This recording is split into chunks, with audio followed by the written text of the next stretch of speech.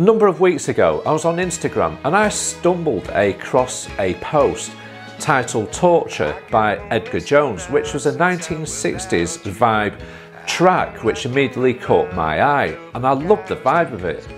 But who is Edgar Jones? Well, let's find out. On the 28th of April, Edgar Jones, who is a singer, songwriter, and musician from Liverpool, released an album called Reflections of a Soul Dimension. But before we get into a short review, I will attempt to introduce you to Edgar. If you love the vibe of the flamboyant Northern 60s soul movement, you may well be attracted to Edgar Jones. Previously in bands such as The Stairs and The La's, and working alongside the likes of Paul Weller and Johnny Marr, he has since concentrated on performing and recording as a solo artist. His first solo venture was in May 2005, releasing Soothing Music for Stray Cats, which was nominated for a Mercury Music Prize. A very notable Noel Gallagher commented, It's probably one of the best records I have ever heard. The two artists have known each other for many years when Noel joined a band with his brother called The Rain, which evolved into what would eventually become Oasis. Reflections of a Soul Dimension is Edgar's latest studio album, which has been recorded and produced by Steve Parry for Stereo Power Records. What is interesting about this album, and importantly, in order to achieve the vibe of the period, is the recording process, which is almost exactly the same as it was back in the 1960s. No sampling, infinite layers of tracks or pitch correction here and there. This is about as analog as you can make it in the modern day world. Looking at the album cover, it also has a vintage feel to it, and it even says stereo in the bottom left hand corner, making you believe that this is new technology. But what is the album like? Well, I haven't rushed into reviewing the album, but I have spent the last few weeks listening to it. It's available on a limited run of vinyl, but most people will stream the album, which is what I did. I've listened to it using my AKG reference headphones, desktop monitors, and finally through my aging but beautifully sounding Bower & Wilkins speakers. First impressions are that the recording takes you straight back to the 60s with authentic feel and vibe of the period. There is plenty going on with great brass and string section, vintage drums, clean guitar, and great vocals. This is definitely a very clever album that will take you back to the times of Burt Bacharach, who sadly passed away a few months ago. The album consists of 12 tracks, but what is interesting is that a 7 inch single titled Torture was released prior to this, with two tracks that aren't included in the album. Torture, as you guessed, is the A side, and Lord Give Me Strength is the B side, which is very cool indeed. To celebrate the launch of his new album, a party took place on the 3rd of May in London, where you might just recognise one or two faces in the band, one of which is Steve Parry, who produced the album, who can just about play most instruments, which he did on this recording, except for guitars. So, what did I think?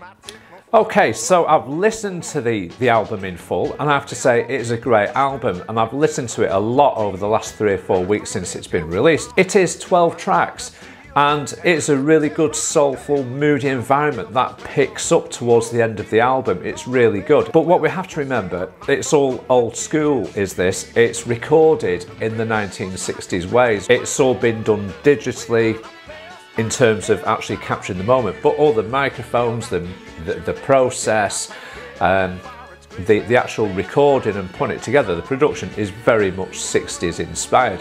Edgar Jones, the actual album, in terms of writing the album, I'd say this is top class stuff. I didn't know what to make of it at first on first uh, sort of listening, I, you know, and I'm new to Edgar Jones and I've done a load of research since that time. And it has grown on me. It's been on repeat almost. And the highlight tracks for me at the minute, and I have made some notes, um, I'll just quickly go through these. Opening tracks, place my bets on you. Now, this is the only sort of minor negative. This is what I thought first time round on listening to the actual album. Um, as I felt that the melody does trip over the lyrics. Having said that, I've listened to it a number of times since that point, and I've got used to it, and I don't notice that so much. Perhaps it's because I better understand Edgar's voice and the way he sings, and he writes and produces his music. That track itself has nice backing vocals in the 60s kind of soulful vibe, if you will. Great brass section and strings in there as well. And all the way through the album, you get a repeat of lovely horns, lovely string sections, great backing vocals, which complement the great voice that Edgar has. And it's the 60s vibe right out of the box. Moving straight on to uh, I Still Believe in You, great snappy rhythm, also like a mod kind of feel to it. uh, in respect of the, the chord changes, you know, the guitars and things. And the guitars in this case was James Cole, um, which I have to say, it's, it's nice, simple rhythm, staccato guitar work, and it's just very, very good. Coming back to me, third track, great opening string section, and I do like that, I really do. The strings make this, this album, and it does give it that 60s sort of, um, how can I put it? The atmosphere. I'm gonna have a bit of a slurp in my brew because I'm on a bit of a roll at the minute. Have a quick slurp. Mmm, cracking. So track number three is coming back to me. Great opening string section, relaxed, soulful vocals from Edgar, and I thought that was very, very good. I absolutely loved it, and there's a great hook in the chorus too, and you really must check these out, you really need to do. Are we, is this the end of our road? Um, the vintage bass drum at start, brilliant, absolute genius. There's no power drums in this, uh, ultra sort of heavy kick drums. Got to think about uh, noisy kick drums in live concerts that generally overshadow the bass playing, and if not, the rest of the band. This was like boom, boom. It was there, but in the 60s vibe, and you could hear it, you could feel it, but it wasn't too much, it was just nice. Now, what I have done, I've picked out probably about three tracks which really stand out for me, and uh, the next one is uh, What's the Matter Baby. And there's a good feel vibe to it. Uh, the stereo strings the intro was, was just really good. I like that. This Will Today, um, great harmony guitar work from James Cole at the start. I, I, yeah, it's just nice. Reflections of You and Me, I did love that one, and it's a great build up at the start to that track. So, Nothing Can Change. Now, this is a great ballad which illustrates the uh, Edgar's uh, strong points within his vocals and his lyrics and the, and the way he sings those lyrics. It starts low, it starts moody, it starts soulful, it gradually builds and builds and builds and then goes back again and builds and builds again. That is one of the standout tracks for me, it really is. Next track, Searching the World, picks up the pace, it's dramatic, um, it's involving, uh, it involves you as a listener. You, you're really getting into this and sort of the pressure's on you as a listener to, to, to keep up, uh, and it is good. And um, determined vocals by Edgar to find the right words. In, and that's the message within the song. He's trying to find the right words about the love in his life. Another standout track. Now, this is from the first time I heard this, and I think I saw this um, on YouTube or listened to it on YouTube before the actual album was released, and it's the the walls come tumbling down, and that is one standout track that really uh, caught my attention. It's my favourite of the lot, indeed. Uh, love the vocals, uh, stereo backing at the end. I'm watching, and then basically you've got another couple of tracks at the end. Sorry, last track at the end. No matter what, this really takes the pace back down from being sort of on it, extreme, serious, down to a lovely arrangement within the, the ballad, almost a musical feel, like a, as if you go to see like a, a West End show. It's almost got like a musical feel to it.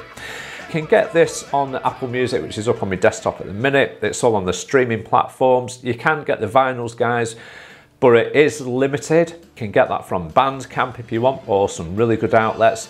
Now there's a great little interesting bit from the 7 inch vinyl which I will show you now which I just loved guys. Have a look at this. Edgar Jones, Torture. Northern Soul Sing Like Tomorrow by The situation has left us weak. There really are no words left to speak. All of the love that we used to share. Okay, so in conclusion, I've listened to the album many, many times over the last few weeks. I like Edgar Jones.